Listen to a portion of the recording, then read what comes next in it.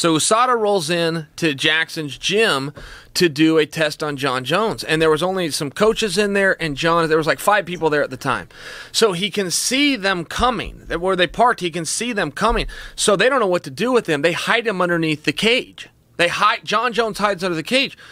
They tell Jon, "We don't know where he is," and this is before we were enrolled in the program, and he did not need to disclose his whereabouts. At the same time, if they show up and find you you must test Wanderlei. This situation, you must test.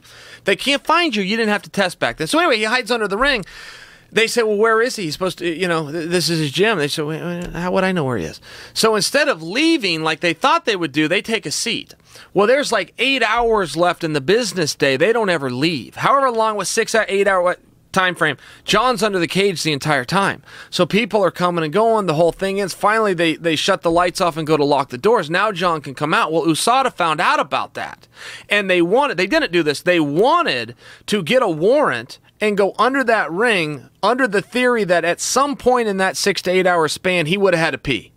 Well, they wanted to go under forensically and collect that urine. That's how upset they were that they had been had. They had boots on the ground in Albuquerque, waiting for him to leave the club, waiting for to get him for anything.